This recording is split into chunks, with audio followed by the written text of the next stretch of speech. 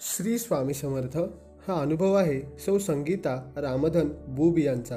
त्यांनी लिहिले आहे ही म्हण खरोखरच अगदी सार्थ आहे की मनी वसे ते स्वप्ने दिसे. काही कारणाने मी व माझे पती व्यवसाय मार्गदर्शनाकरिता शनिवार पेठेत राहणाऱ्या श्री श्रीकांत भाटेकाका यांच्याकडे गेलो होतो. त्यांनी आम्हाला पुस्तक दिले.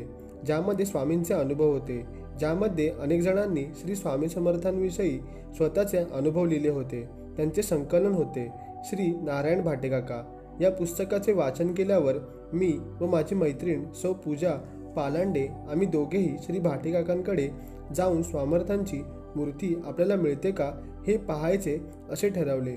ठरवल्याप्रमाणे आम्ही दोघी श्री भाटेकाकांच्या घरी गेलो. तेव्हा काका म्हणाले की जेव्हा त्यांना स्वामींचा आदेश येईल तेव्हाच ते आम्हाला स्वामींची मूर्ती देऊ शकतील. याप्रमाणे तीन गुरुवार गेल्यावर चौथ्या गुरुवारी स्वामींनी आमच्या घरी यायचे ठरवले. श्री भाटेकाकांना आज्ञा मिळाल्यावर त्यांनी आम्हाला प्रसादरूपी परमपूज्य श्री कमलाकर तपस्वी लिखित स्वामी लीलामृत पोथी तारकमंत्र आणि सर्वांग सुंदर स्वामींची मूर्ती दिली. तो दिवस आम्हा दोघींसाठी अविस्मरणीय ठरला. मी आणि माझे यजमान संगीता गृह उद्योग या नावाने इन्स्टंट पिठींचा व्यवसाय करतो. सुरुवातीच्या काळात व्यवसाय वाढवण्यासाठी आम्हाला प्रदर्शनातून विक्री करावी लागत असे. मी दर गुरुवारी नियमितपणे स्वामींच्या मठात दर्शनासाठी जात असे. एकदा इंजिनिअरिंग कॉलेजच्या मैदानावर प्रदर्शन चालू असताना गुरुवार असल्याने मी मठात जायला निघाले. तेव्हा मला हे म्हणाले गुरुवारी स्टॉलवर खूप गर्दी असते तेव्हा आजचा दिवस तू जाऊ नकोस. त्यांच्या या शब्दांनी माझे मन दुखावले गेले. तरीही हो नाही करता मी तेथून त्यांचे न ऐकता निघाले. आश्चर्य म्हणजे मी निघाल्यानंतर अगदी दोनच मिनिटात दोन ग्राहक आमच्या स्टॉलवर येऊन गेले आणि माझ्या मिस्टरांच्या नकळतच इन्स्टंट पिठाच्या एका पाकिटावर श्री स्वामी समर्थांचे संरक्षण यंत्र हे स्वामींच्या फोटोसह तेथे पडले. ते ग्राहक गेल्यावर मिस्टरांना ते यंत्र आणि फोटो दिसले व त्या क्षणी मला टोकल्याचा त्यांना पश्चाताप झाला. जणू काही स्वामी त्यांना दर्शन देण्यासाठी व आमच्या व्यवसायाला आशीर्वाद देण्यासाठीच तेथे आले होते. आजही तो फोटो आणि ते संरक्षण यंत्र मी जपून ठेवले आहे. दिनांक पाच जुलै दोन हजार आठ हा दिवस माझ्या कायम लक्षात राहिला. या दिवशी स्वामींनी माझ्यावर आणि माझ्या मावस भावावर कोसळलेल्या संकटातून आम्हाला सुखरूप बाहेर काढले. काही कारणाने माझी वहिनी पुण्याहून नाशिक जिल्ह्यातील सिन्नर या गावी आपल्या मुलीसह दुपारी जाण्यास निघाली होती.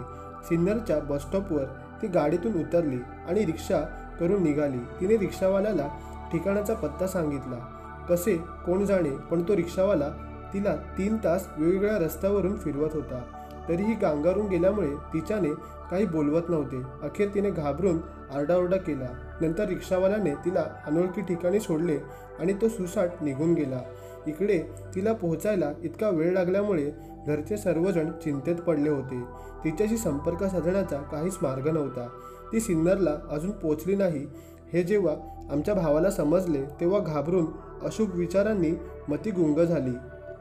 रडत रडत त्याने मला हे सर्व सांगितले. ताबडतोब आम्ही दोघे स्वामींच्या मठात गेलो.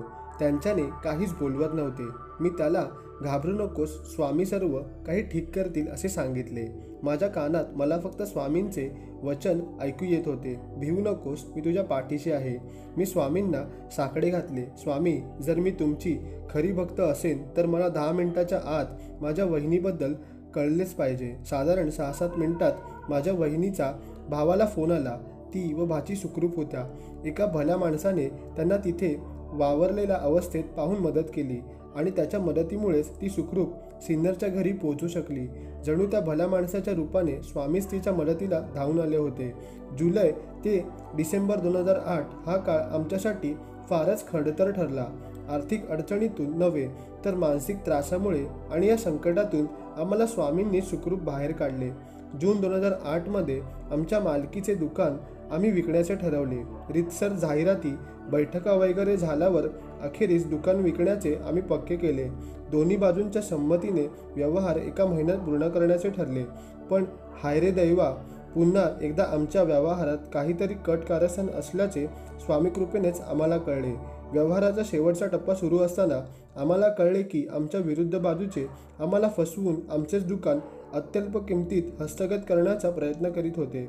त्या गृहस्थांनी यापूर्वीही अशाच प्रकारे फसवण्याच्या बऱ्याच ठिकाणी प्रयत्न केला होता हे आम्हाला नंतर समजले.